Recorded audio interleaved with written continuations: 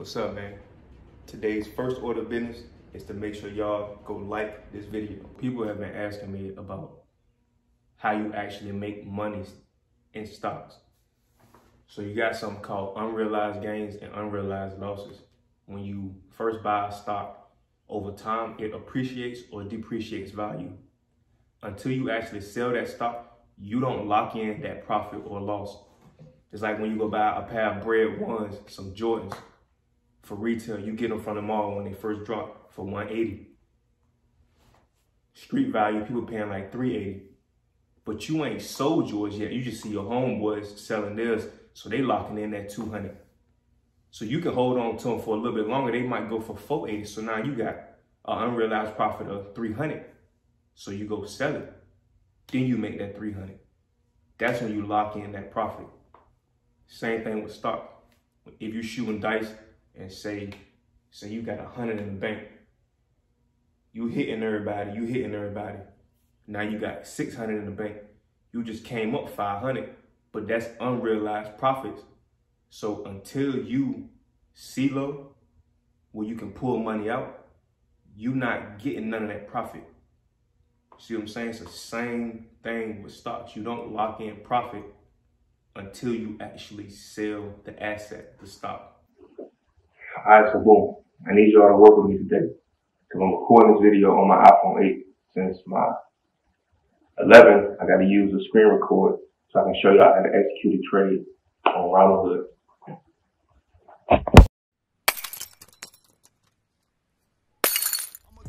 It's that top dog flow. Say he too meat to get a meal. Meanwhile, all y'all broke. Remember times was different. Have a pot to piss in. Now my stock done risen. Neck and wrist dripping like a lot of dishes. I told my family we gon' make it. Shay the only one that listen. Project Baby, all my role models in the penitentiary. You was blind to the streets. I had you running like Steven. Try covering your eyes. I never wanted you to see me. Pat came, I broke it down. It's too loud to keep it secret. See the envy in their eyes. It ain't hard for me to read them. Uh, came up from poverty. My niggas doing robberies. Got hits like Apollo Creed. I know my mama proud of me. Uh, big homie moving keys. The younger niggas selling weed. C12, we never freeze. The hood be hot like every season. See niggas die young and Roddy Ricch can't help them breathe. Dying to live, I ain't no average, I'm a different breed. Short nigga, heart bigger like I'm seven feet. Yeah, I mean, I been ballin' like I'm overseas. Can't get an answer, God, I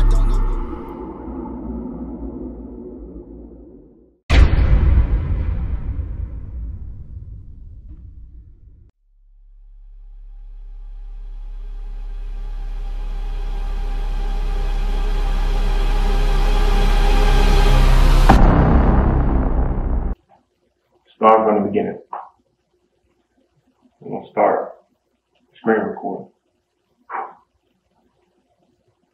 Notice my brother right there, Cat Kelly. We're going to the league, baby. We're gonna go into Robinhood.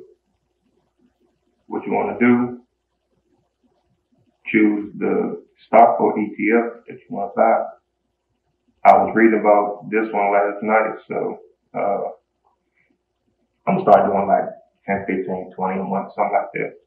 Cause this is something long term that I'm gonna hold like forever type stuff. I don't want to buy a full share. So I'm gonna click up here, top right, click shares. I want to buy a dollar. So I got, it's telling you how much you got available. So I'm gonna go like 20.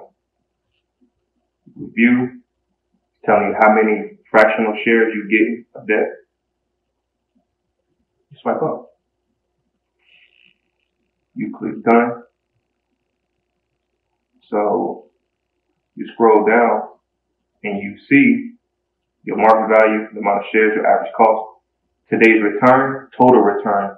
Those, those, those are those unrealized gains that I was telling you about. Until I sell something, until I sell this, I have not received any of this money, nor have I lost any of this money. You scroll down, it's showing you a bunch of stuff that a lot of technical people care about. Unless something is alarming on this, in these stats, I'm not really too concerned. You keep scrolling, it'll show you the history of what you've done. So I just did a market buy for $20. That means that I bought it for twenty dollars or whatever it was priced at. You I could have did a limit purchase, but I had to get like a full share. And how it was priced at two twenty three seventy eight, I would have put in like, I don't want to buy over two twenty four. I don't want to buy until it drops to two fifteen, something like that. So it's showing you some a description about the ETF. An ETF is a basket of stocks. We'll just leave it at that. If I go back and I look at, say, this other one that I have, same thing.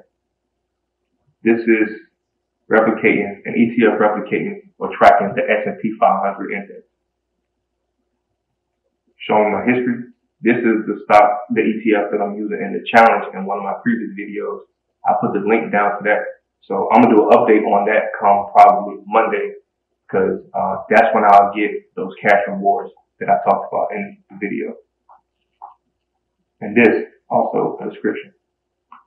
So after I made that purchase, I click on this and it's showing me my history with that. That's it. As simple as it is. And if you wanted to sell, you just click sell instead of buy.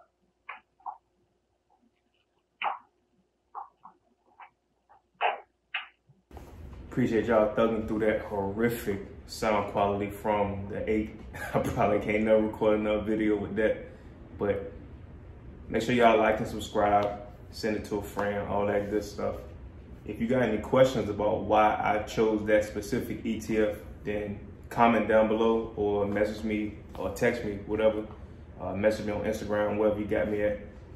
And I mean, I'll talk to you more about it, or I might do a video on it soon, but we'll see. Make sure y'all get blizzy. Today is Friday, so get super blizzy.